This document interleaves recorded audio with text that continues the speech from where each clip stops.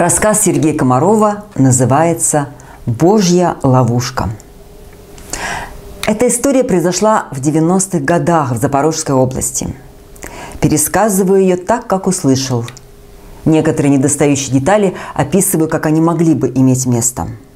Да и суть рассказа не в деталях, а в непостижимом промысле Божьем, который приводит человека к Богу такими удивительными путями – про Ивана Петровича знакомые так и говорили «наш дачник». Без дачи его не мыслили. Да и сам Иван Петрович себя без нее не представлял. Дачу он начал обустраивать еще до выхода на пенсию. Купил за городом 7 соток земли со стареньким домиком, сараем и погребом. Сделал в домике небогатый, но качественный ремонт. Посадил на земле картошку, помидоры, клубнику, малину, лук, несколько деревьев – заштукатурил погреб, привел в порядок помещение над ним. Со временем подвал наполнился банками. Хозяин увлекался домашним консервированием. Иван Петрович отдыхал на даче телом и душой. Когда еще ходил на работу, на выходных всегда приезжал туда заниматься обустройством своей фазенды, как он шутливо выражался – Знакомым говорил, что готовит себе уголок на старость. И действительно мечтал переехать со временем на природу. Когда Иван Петрович вышел на пенсию, родные и друзья совсем перестали видеть его в городе. Летом, весной и ранней осенью все время пенсионер проводил на даче. С наступлением холодов он возвращался в теплую городскую квартиру, но сильно скучал по своим загородным владениям – Раз в неделю он все-таки наведывался на дачу, несмотря на протесты супруги. Растапливал печь, варил себе чай, подметал двор и прогуливался по огороду. Ходил посмотреть на замерзшую реку, иногда рыбачил на льду. Вечером умиротворенный возвращался домой. Но этой зимой безмятежные будни Ивана Петровича оказались потревожены. В дачном поселении завелся вор – за несколько недель он побывал почти во всех домиках. Ломал замки или разбивал окна и выносил все, что представляло хоть какую-то ценность. Инвентарь, картошку из погребов и даже банки с заготовками на зиму. Не минула эта печальная участь и фазенду Ивана Петровича. Грабитель залез через окно в домик, украл электрочайник и, не найдя ничего больше, проник в подвал – в результате пропало несколько банок с вареньем, сумка с картошкой, бутылка вишневой наливки. Когда Иван Петрович обнаружил следы вора, самое неприятное ощущалось даже не в исчезновении чайника и продуктов, а в том, что здесь ходил и хозяйничал другой человек. Привычное любимое жилище словно осквернилось, как будто некоторое кощунство произошло в этом заветном уголке, который принадлежал сердцу пенсионера – Вор наверняка вернется. В погребе оставалось еще много еды. Иван Петрович стал думать, что делать дальше. Надо сказать, что Иван Петрович слыл человеком практического склада ума, имел золотые руки. Образование инженера сочеталось в нем с природной острой смекалкой. В жизни часто пришлось сталкиваться со стройкой и ремонтами – увлекался изобретательством, в молодости даже получил патент на несколько своих оригинальных изобретений в строительной сфере. Уж кто-кто, а он на выдумке был гораст. Пока Иван Петрович думал, вор снова наведался. В этот раз в домик он даже не заходил. Его интересовал только подвал. Новый замок на двери сарая он сбил молотком – После этого визита хозяин дачи не досчитался трети всех продуктов. Срочно нужно было что-то предпринимать. Продумав разные варианты, Иван Петрович наконец решил применить механизм, которым пользовался уже когда-то один его приятель. Сложного ничего, а поимка вора гарантирована. Не нужны ни полиция, ни собака, ни камеры наблюдения. Все должен сделать механизм. Принцип его действия был такой. Вор подходит к сараю, внутри которого находится вход в погреб. Двери в сарай закрыты, но жулик легко открывает их. Дальше его ждут еще одни двери, ведущие прямо в подвал. Они остаются открытыми. Злоумышленник спускается в подземелье по ступенькам. На одной из ступенек располагается незаметная клавиша, которая закрывает двери погреба. Преступник неминуемо наступает на нее и закрывает за собой двери. Они захлопываются у него за спиной очень быстро, и открыть их можно уже только снаружи. Таким образом, грабитель оказывается в темной подземной ловушке и находится там до тех пор, пока не придет хозяин. Два дня ушло на подготовку материалов, еще два дня на установку механизма. Одну ночь Ивану Петровичу пришлось провести на холодной даче. Домой приехал простывшим. Сказались недосып и напряжение последних дней. Иван Петрович серьезно заболел и провел в постели три недели. Все это время он не переставал думать о даче и воре. А что, если преступник уже пойман и оказался в подземном мешке? А вдруг он попался сразу после установки ловушки – за три недели можно с ума сойти в темном погребе, а можно и умереть. Иван Петрович представлял себе, как он входит в погреб и видит скорченный труп и ужасался. Впрочем, он тут же говорил себе «вору воровская участь» и немного успокаивался – но потом опять начинал волноваться. Он несколько раз порывался встать с постели и поехать на дачу, но бдительная супруга Вероника Львовна наотрез отказалась выпускать его до полного выздоровления. Наконец настал день, когда Иван Петрович подошел к своему загородному домику. План наш герой разработал такой. Если механизм сработал и видно, что преступник внутри, Иван Петрович звонит в полицию и ждет прибытия стражей порядка. А вот что они потом увидят в подвале, об этом пенсионер избегал думать. Больше всего на свете ему сейчас хотелось увидеть нетронутые двери сарая. Стараясь двигаться бесшумно, Иван Петрович приблизился к помещению, в котором находился погреб. Сердце колотилось, даже температура поднялась от волнения. Двери в сарай – оказались открытыми. Рядом валялся сорванный замок. У Ивана Петровича перехватило дыхание и пересохло во рту. Ноги стали как бы не свои. Хоть Иван Петрович и готовился к такому развитию событий, но все равно пришел в сильное волнение. Он подошел к входу и заглянул вглубь сарая. Солнечный луч ударил в монолитную поверхность захлопнутых дверей. Теперь уже не оставалось никаких сомнений – Ловушка сработала. Грабители находились в клетке. Как давно это случилось? Трудно было судить. Пенсионер поднес ухо к дверям и прислушался. Никаких звуков. Непослушными руками он набрал номер полиции. Затем постоял немного возле входа в погреб и пошел в домик ждать стражи порядка. В доме он не мог делать ничего другого, как сидеть возле окна и смотреть на взломанные двери сарая – в жизни многое пришлось повидать, но разбойников он никогда еще не ловил. Сколько их там? Как долго они там сидят? Живы ли они? А вдруг они окажут серьезное сопротивление? Вдруг будут стрелять? Какие вообще лица у таких людей? Полицейские приехали через полчаса. Наступил самый острый момент всей истории. Иван Петрович открыл двери в погреб – и полицейские ступили во тьму, освещая себе путь фонариками. Иван Петрович следовал за ними. Через несколько мгновений они оказались в подвале. Зрелище, которое они увидели, потрясло всех.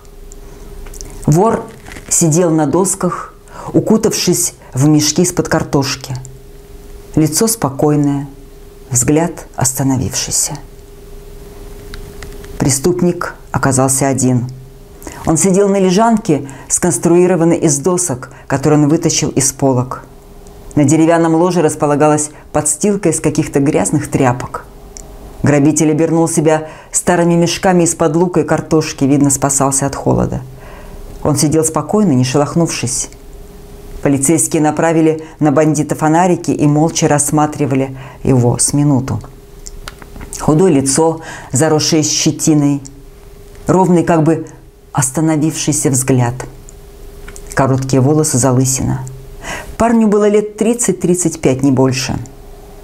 От вора исходил острый неприятный запах.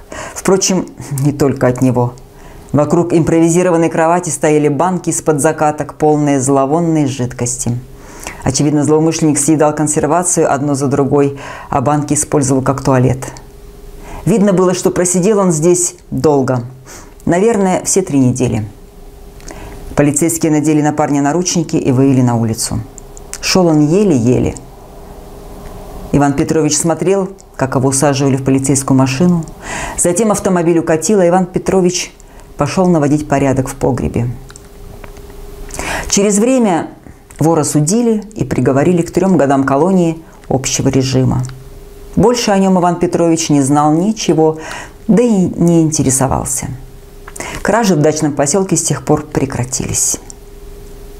Прошло 10 лет. Жив ли Иван Петрович? Жив. И даже крепок, несмотря на преклонные годы. И даже ездит на любимую дачу. А вот его верная супруга Вероника Львовна теперь серьезно больна. У нее рак.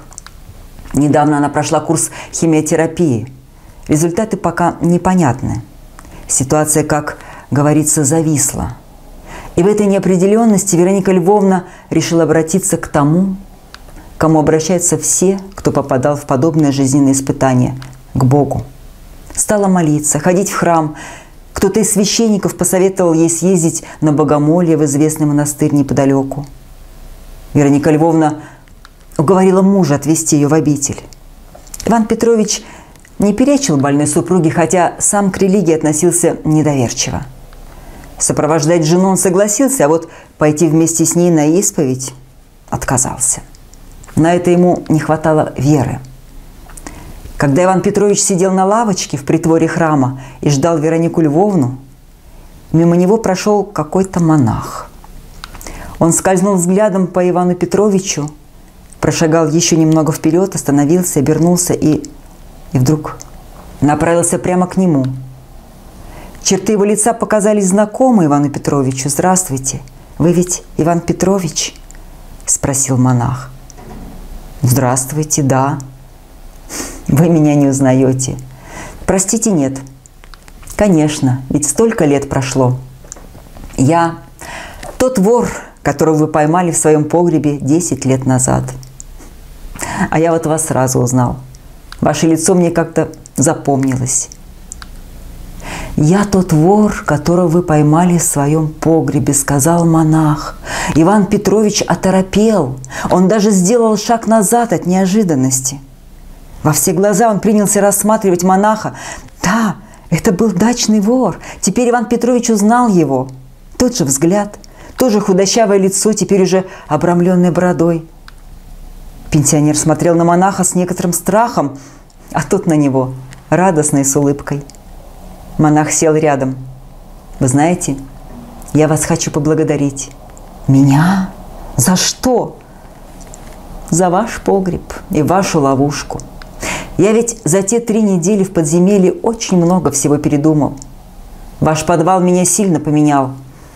Я из него вышел совсем другим человеком – решил жизнь свою полностью перестроить.